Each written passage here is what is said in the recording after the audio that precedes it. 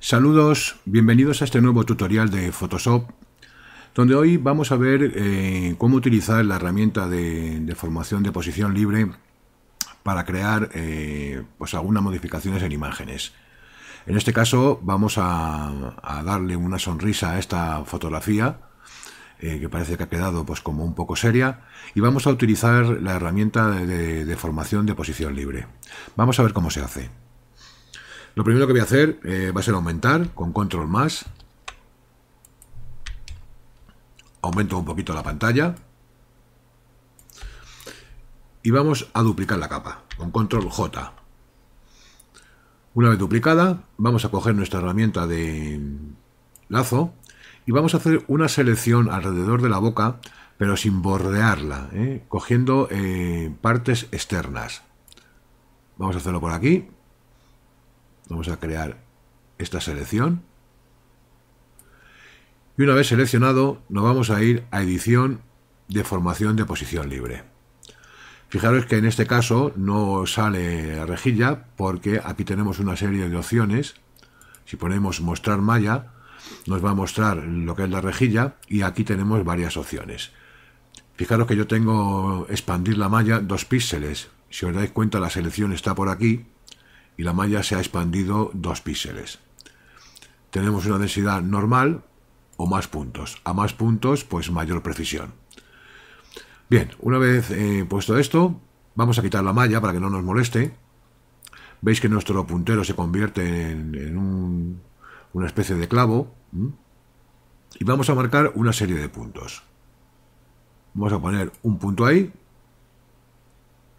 y otro punto aquí y vamos a crear otros puntos de ancla para que al moverlos no se nos deforme toda la boca. Así que vamos a poner un punto aquí de bloqueo, otro punto aquí, vamos a poner otro punto aquí y otro punto aquí.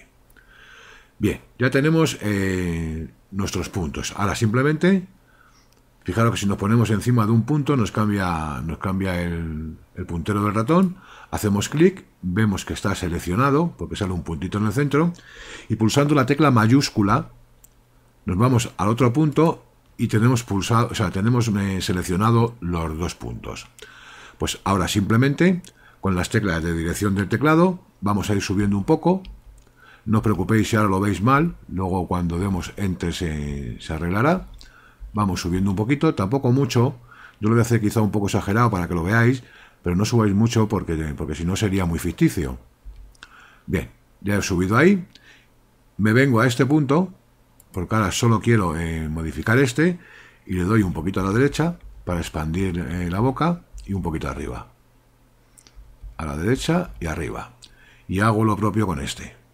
Hago clic, lo selecciono, me voy un poquito a la izquierda, para arriba, tres a la izquierda, y voy viendo más o menos cómo queda. Y una vez eh, hecho a mi gusto, simplemente doy Enter. Con Control D lo deselecciono. Con Control 0 ajusto la ventana. Fijaros que esto sería... Esto sería antes y esto es ahora. ¿Eh? Es una forma de, modificar eh, imágenes. Veis que aquí está demasiado exagerado porque lo he extendido demasiado, pero era para que lo vierais. Esto se hace muy sutil. Y esto es una forma de modificar eh, cualquier mm, cosa dentro de una fotografía en vez de utilizar, pues como se viene eh, habitualmente haciendo con la herramienta licuar. Con esta, bueno, pues tenemos casi más control y podemos crear pues esta, este efecto tan bonito. Esto era antes y esto era después. Y esto ha sido todo por hoy. Espero que os haya gustado. Ya veis que ha sido cortito. Un saludo y hasta el siguiente tutorial.